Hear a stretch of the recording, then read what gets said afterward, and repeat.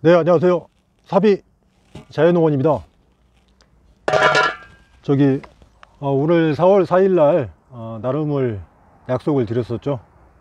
이번에 나름할 거는 여기 앞에 보이는 것처럼 팥꽃나무입니다.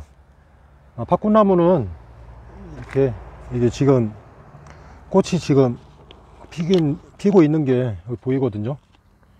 이렇게 보라색으로 어, 피우는 건데, 다음 주 아마 받아 볼 때는 이 꽃망울이 다 트지 않을까 싶습니다. 아, 근데 한 가지 그 주의할 점은 제가 이거를 삽목을 해두고 뿌리를 이제 털어서 어, 이 화분에 담은 지 얼마 안 됐거든요.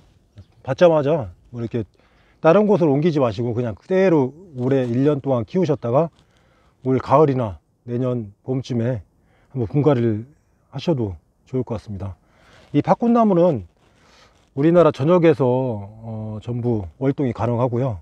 큰 나무가 아니고 어, 사람 키 정도 어, 낮은 키로 어, 크는 식물입니다. 집 정원에다가 두셔도 꽤 잘 어울릴 것 같습니다. 그래서 이번에 그 준비한 그 이행시는요 부여로 하겠습니다. 어, 이곳이 충남 부여인데 혹시나 또 부여에 어, 놀러 오시면 제가 사비 자연농원에 들르시면 제가 이거 하나씩 선물을 해 드리겠습니다. 내시는 부여예요. 부여로 이행시를 이번 주 목요일까지 보내주시고요. 어, 금요일, 토요일 날이나 그때 선정을 해서 다음 주 정도에 발송하는 걸로 그렇게 하겠습니다. 더욱 노력하는 사비 자연농원이 되겠습니다. 감사합니다.